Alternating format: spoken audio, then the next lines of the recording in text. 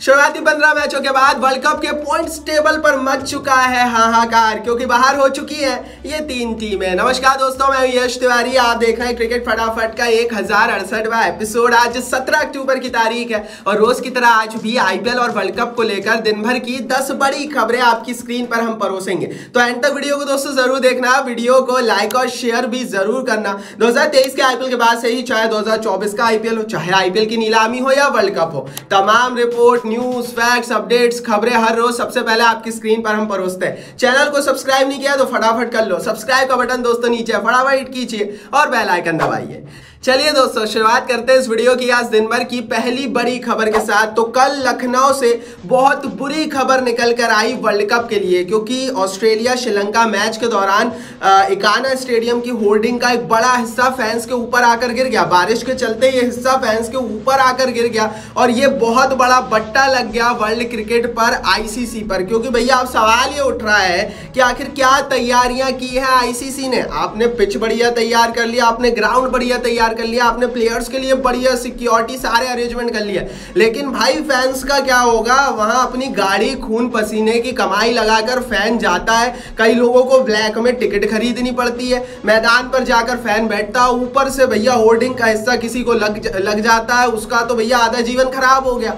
तो इसकी रिस्पॉन्सिबिलिटी किसकी होगी? फैंस के साथ दुर्व्यवहार कोई नई बात नहीं है हिंदुस्तान में। हमने अहमदाबाद वाले मैच में भी देख देख लिया था। पुलिस वाले फैंस को थप्पड़ मार रहे हैं। वो वीडियो भी वायरल हो रहा है। कई जगह हमने देख लिया फैंस के लिए ना खाने की व्यवस्था है, पानी तक नहीं दिया जा रहा। है भाई, क्या होगा? मतलब यार, मैं तो क्या ही बोलूँ यार। सच में गुस्सा आता है कि वो लोग जिसके चलते इंडिया का क्रिकेट, दुनिया का क्रिकेट चल रहा है फैंस ना हो, अगर लोग देखे नहीं मैच तो क्या क्रिकेट सर्वाइव कर पाएगा क्या? कोई भी स्पोर्ट सर्वाइव नहीं कर सकता। और उन्हीं फैंस के लिए व्यवस्थाओं के नाम पर कुछ नहीं है इवन उनकी सेफ्टी के नाम पर कुछ नहीं है। एंड सचमुच इस पर सवाल पूछा जाना चाहिए आईसीसी से भी और बीसीसीआई से भी। क्योंकि भैया देखो फैंस ही हैं जो आ, क्रिकेट को आ, धर्म मानते हैं और खिलाड़ियों को आ, भगवान मानते हैं। अगर आप मेरी बात से सहमत हो तो वीडियो को लाइक करो। क्योंकि भैया हमारे जैसे फैंस ही है जो क्रिकेट को क्रिकेट बनाते हैं। तो आपका लाइक तो ज़रूर बनता है। चलिए दोस्तों, आगे बढ़ते हैं। आपसे बात करते हैं दिन भर की दूसरी बड़ी खबर की। तो ये रिपोर्ट आ रही है शाकिब अल हसन की इंजरी को लेकर। भारत को अपना अगला मैच बांग्लादेश के साथ परसों खेलना है और इस मैच से पहले बांग्लादेश के लिए बुरी खबरों का दौर जारी है।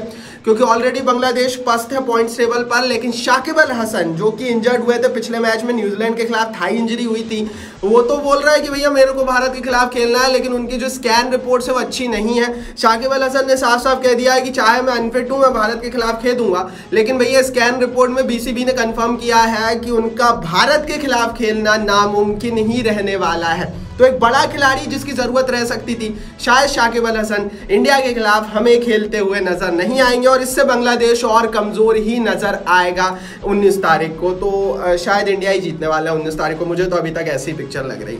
चलिए दोस्तों, आगे बढ़ते हैं। ऐसे अब बात करते हैं दिन भर की तीसरी बड़ी खबर की। तो इंडिया पाकिस्तान मैच हुआ था। इस मैच में ज़ाहिर है, अहमदाबाद में, भारत में मैच था। तो भारत की पब्लिक आएगी इंडिया के ही लोग आएँगे तो डेढ़ लाख इंडिया के ही बंदे वहाँ बैठे हुए थे, मेरे और आपके जैसे फैंस बैठे हुए थे। अच्छा इसके बाद पाकिस्तान मैच हार गया। उस मैच को हारने के बाद पाकिस्तान के कोच मिकी आर्थर ने एक बयान दिया था। उन्होंने कहा था कि ये मुझे वर्ल्ड कप जैसा लगा ही नहीं। मुझे तो लगा ये इंडिया पाकिस्तान बायोलेटरल सीरीज़ हो रही है। पाकिस्तान का कोई फ़ैन नहीं था। ऐसा लग रहा था इंडिया के पक्ष में पूरे क्राउड है। तो मैच हारने के बाद इनके कोच ने ये कहना चाहिए, ये एक्सक्यूज दिया था कि आपने पूरा अपने पक्ष में माहौल बना लिया। इस बयान का अब आईसीसी रिव्यू करेगा। आईसीसी इस बयान का रिव्यू करेगा और अगर दोषी पाए जाते हैं मिकी आर्थर, पाकिस्तान के कोच तो उनके ऊपर पेनल्टी लगाई जा सकती है, फाइन लगाया जा सकता है और पाकिस्तान क्रिकेट बोर्ड के ऊपर भी फाइन लगाया जा सकता है। दरअसल दोस्तों, ये वर्ल्ड इवेंट है और जिस भी देश में वर्ल्ड कप होगा, उस देश के फैंस तो आएँगे ही। अब यार, आप ये उम्मीद तो नहीं कर सकते ना कि इंडिया का फ़ैन पाकिस्तान की जर्सी पहनकर मैदान में जाकर हरी जर्सी पहनकर बैठेगा। वैसे ही तो पाकिस्तान इतनी आतंक गतिविधियाँ करता है तो वैसे ही भारत में पाकिस्तान की छवि बहुत बुरी है। तो ऐसा तो होने वाला है, था नहीं कि इंडिया के फ़ैन पाकिस्तान की जर्सी पहनकर बैठेंगे। तो ये एक्सक्यूज देने की कोई ज़रूरत नहीं थी। अफ़गानिस्तान में, भारत के पक्ष में, दोनों में दोस्ती है अफ़गानिस्तान और भारत में। तो आपने देखा कि जो पिछला मैच दिल्ली में हुआ था, जो अफ़गानिस्तान ने इंग्लैंड को हराया था, उसमें पूरे इंडियंस अफ़गानिस्तान को सपोर्ट कर रहे थे। तो ज़ाहिर है, पाकिस्तान की छवि खराब है, इसलिए इनकी ये दुर्गति हुई है। इसके लिए लाइक बनता है ज़रूर। चलिए दोस्तों, आगे बढ़ते हैं बात करते हैं। दिन भर की चौथी बड़ी रिपोर्ट की। तो ये खबर दोस्तों निकल कर आ रही है वर्ल्ड कप के सेकंड फ़ेज़ से। अभी तक शुरुआती पंद्रह मैचेस में हमने देखा कि देश के जो बड़े क्रिकेटिंग सेंटर्स थे, चाहे मुंबई हो, पुणे हो, चाहे बेंगलोर हो, चाहे कोलकाता हो, वहाँ से अमूमन वर्ल्ड कप के मैचेस दूर रहे और धर्मशाला, दिल्ली, अहमदाबाद में अभी तक मैचेस चल रहे थे। लेकिन अब सेकंड फ़ेज़ शुरू होगा। अब ये तीनों चारों मैदान, मुंबई, पुणे, बेंगलोर, कोलकाता भी तैयार हो चुके हैं। क्योंकि अब जो मैचेस आने वाले, होने वाले शुरुआती पंद्रह मैचों के बाद, वो अब इन चार मैदानों पर ज़्यादातर मैचेस होंगे। दोस्तों, ये पहली बार देखने को मिला है कि देश में वर्ल्ड कप हो रहा है और शुरुआती कई मैचेस इन चारों मैदानों पर हुए ही नहीं। क्योंकि इससे पहले हमें दे, हमने देखा था कि यही वो चार मैदान रहे हैं जो कि भारत के क्रिकेट सेंटर्स रहे हैं लेकिन इस बार वर्ल्ड कप के शुरुआती मैचेस को कहीं और कराया गया था दूसरे मैदानों पर कराया गया था। बट अब इन शहरों के फैंस के लिए भी अच्छी खबर है, क्योंकि अब वर्ल्ड कप इन शहरों में भी मैचेस हमें देखने को मिलेंगे। इवन 19 तारीख को जो भारत बांग्लादेश का मैच है, वो पूना में ही होने वाला है। तो लाइक कर दीजिए, क्योंकि अब नए मैदानों को हमें देखने को मज़ा लेने को मिलेगा। चलिए दोस्तों, आगे बढ़ते हैं। आज से बात करते हैं दिन भर की पाशीवाड़ी रिपोर्ट की। तो ये खबर आ रही है आज के मैच को लेकर। साउथ अफ्रीका के पास चांस है आज पॉइंट्स टेबल पर अपनी टॉप पोजीशन बनाने का, क्योंकि साउथ अफ्रीका आज नेदरलैंड के खिलाफ दो बजे खेलेगी। धर्मशाला में ये मैच होगा कंडीशंस दोनों ही टीमों को सपोर्ट करेगी, हल्की सी सीमिंग कंडीशन रहने वाली है। बारिश के चांसेस इस मैच में रहने वाले हैं, लेकिन साउथ अफ्रीका के पास एज है अच्छा क्रिकेट साउथ अफ्रीका ने अभी तक भारत में आकर चाहे वार्म अप मैचेस हो, चाहे वर्ल्ड कप के मेन मैचेस हो, खेला है। तो इस मैच में सेफली हम बोल सकते हैं साउथ अफ्रीका जीतने वाली है। अच्छा साउथ अफ्रीका तो जीत जाएगी, आप भी जीत लो। एक रुपए में दस हज़ार रुपए मिल रहे हैं फ्री में पच्चीस हज़ार रुपए मिल रहे हैं। और प्लेयर स्पॉट पर रोज मैचों के लिए नए नए ऑफ़र आते हैं। इवन अगर आप पच्चीस सत्ताईस वाला कॉन्टेस्ट खेलते हो तो आप सत्तर हज़ार रुपए तक जीत सकते हो। डिपॉजिट ऑफ़र चल रहा है वर्ल्ड कप के लिए। ज़्यादा पैसा डिपॉजिट करोगे तो कैश फ्री बोनस ज़्यादा मिलेगा। देर मत करना, क्योंकि जीएसटी का टेंशन आपको लेने की ज़रूरत नहीं है। जितना भी जीतोगे, पहले वाले सिस्टम की तरह पूरा पैसा आपके पास ही बैंक अकाउंट में आएगा। आपके भी यहाँ पर जीएसटी प्लेयर स्पॉट वाले भर देंगे। देर मत करो प्लेयर स्पॉट पर खेलना शुरू कर दो। Link is in the description box चलिए दोस्तों, आगे बढ़ते हैं। यहाँ से बात करते हैं दिन भर की छठवीं बड़ी खबर की। ये रिपोर्ट आ रही है दोस्तों जोफ्रा आर्चर के हवाले से। दरअसल दोस्तों जोफ्रा आर्चर को लेकर अब इंग्लिश क्रिकेट बोर्ड एक बड़ा फैसला लेने वाला है।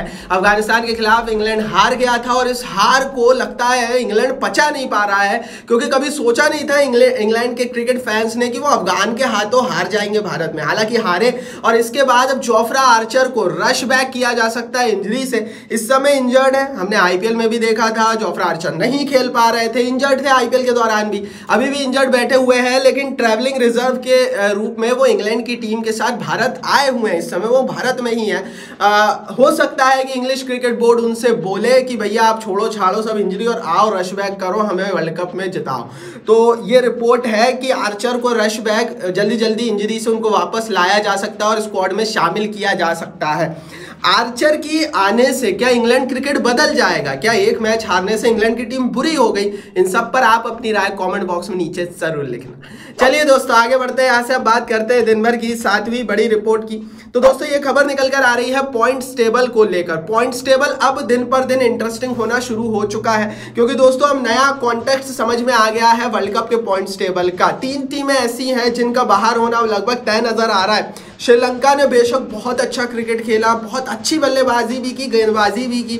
पाकिस्तान के खिलाफ तो तीन सौ, साढ़े तीन सौ लगा दिए, लेकिन तीन मैचेस लगातार हार कर यहाँ से श्रीलंका की उम्मीदें अब सेमीफाइनल में जाने की ना के बराबर है। नौ मैचेस होने हैं आप तीन मैचेस ऑलरेडी हार चुके हो। लॉ ऑफ़ एवरेज भी उठाओगे तो बचे हुए अब जो छह मैचेस श्रीलंका के होंगे, उसमें से वो तीन चार ही जीत पाएँगे तीन चार जीत कर आप जा नहीं पाओगे। सात, आठ आठ, नौ पॉइंट में आप जा नहीं पाओगे नौ, दस पॉइंट में। तो ज़ाहिर है, श्रीलंका नहीं जा रही है। नेदरलैंड नेदरलैंड का माइनस वन पॉइंट एट का बहुत बुरा नेट रन रेट है। नेदरलैंड ने अपने मैचेस हारे हैं और हारे हैं तो बड़े अंतर से हारे हैं, काफ़ी गैप से हारे हैं, जिसका नुकसान नेदरलैंड को होगा और नेदरलैंड का बाहर जाना भी लगभग लगभग लगभग लगभग तय ही है यहाँ से। तो पंद्रह दिन में ये पिक्चर क्लियर है कि श्रीलंका नेदरलैंड सुपर फोर में तो नहीं पहुँचेंगे। हाँ आने वाले मैचों में ये दोनों टीमें एक दो मैचेस में अच्छा प्रदर्शन भी करेंगी, लेकिन सुपर फोर के चांसेस खत्म हो गए सेमीफाइनल के चांसेस खत्म हो गए। तीसरी टीम बांग्लादेश की टीम है। बांग्लादेश की टीम को देखते हुए ये वर्ज ऑफ़ लॉस की तरफ़ है। मतलब अगला मैच भारत के साथ है, जीतने के चांसेस कम है, शाकिब अल हसन चोटिल पड़े हुए हैं। तो बांग्लादेश के लिए भी यहाँ से राह बहुत कठिन कठिन रहने वाली है सुपर फोर की। तो ये तीन टीमें हैं जो शुरुआती पंद्रह मैचों के बाद अब तक सेमीफाइनल की दौड़ से बाहर हो चुकी है। अब इनमें से कौन सी टीम आपको लगता है कि बचे हुए अपने सारे मैचेस जीत कर सेमीफाइनल में पहुंचकर सबको हैरान कर देगी? मुझे तो कोई सी नहीं लगती। अगर आपको लग रही है तो कॉमेंट बॉक्स में लिखकर अपनी राय दे दो और फटाफट कॉमेंट बॉक्स नीचे। चलिए दोस्तों, आगे बढ़ते हैं, लेकिन लाइक बनता है भारत के लिए, क्योंकि भारत इस समय पॉइंट टेबल पर टॉप में बना हुआ है और इंडिया के सबसे ज़्यादा चांसेस है शुरुआती पंद्रह मैचों के बाद सेमीफाइनल में जाने के।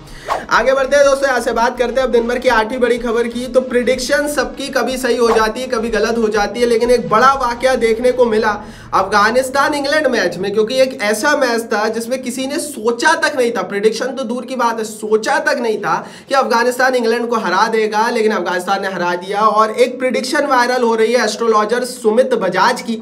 जिन्होंने एक्स पर ट्विटर पर एक प्रिडिक्शन की थी, जिसमें उन्होंने पहले ही बोल दिया था मैच से पहले कि अफ़गानिस्तान के सितारे बड़े अच्छे हैं, आज अफ़गानिस्तान जीतने वाला है। इनकी प्रिडिक्शन बहुत वायरल हो रही है एक्स पर ट्विटर पर, और बहुत ज़्यादा लाइक्स वाइक्स आ रहे हैं। तो आने वाले मैचेस में आप इनकी प्रिडिक्शन देख सकते हैं एक्स पर जाकर नाम सुमित बजाज है इनका। इनकी आने वाली कुछ प्रिडिक्शन हम हमारे टेलीग्राम पर भी डालेंगे। देखते हैं इंडिया वाले मैच में इनकी क्या प्रिडिक्शन है। टेलीग्राम पर आपको मिल जाएगी। टेलीग्राम की लिंक मैंने नीचे डिस्क्रिप्शन बॉक्स में डाल दी है। फ्री में परिवार का हिस्सा बन जाओ फ्री में ज्वाइन कर लो, हमारे टेलीग्राम को आपको मज़ा आ जाएगा। चलिए दोस्तों, आगे बढ़ते हैं। यहाँ से बात करते हैं दिन भर की नौवीं बड़ी रिपोर्ट की। तो ये खबर आ रही है, श्रीलंका के कैंप से दर्शन शंका की रिप्लेसमेंट की घोषणा हो गई है। चमिका करुणा रत्ने जो है, वो आएँगे और शंका की जगह लेंगे। कहा यह जा रहा था? हसरंगा उनकी जगह लेंगे, लेकिन हसरंगा रिप्लेसमेंट के रूप में नहीं आ रहे हैं। चमिका करुणा रत्ने आ रहे हैं। हसरंगा की जो सर्जरी थी सफल हुई थी। और उसके बाद कहा जा रहा था कि उनकी वापसी वर्ल्ड कप में हो सकती है, लेकिन ऐसा नहीं हुआ है। यहाँ से ये सवाल खड़ा होता है कि कब तक वो मैच फिट हो पाएँगे? क्या अगला आईपीएल खेलेंगे या उससे पहले वापसी हो जाएगी? हसरंगा की।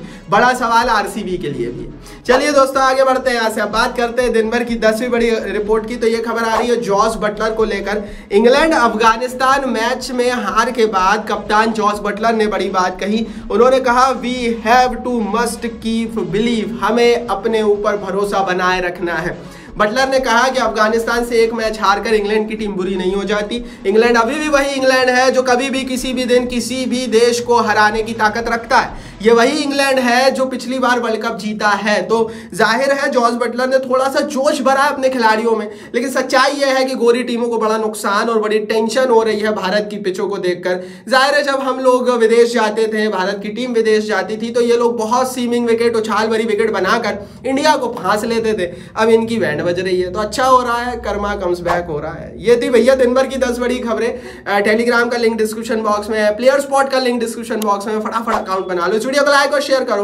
और चैनल को सब्सक्राइब नहीं किया तो सब्सक्राइब का बटन भी नीचे। फटाफट हिट करके बेल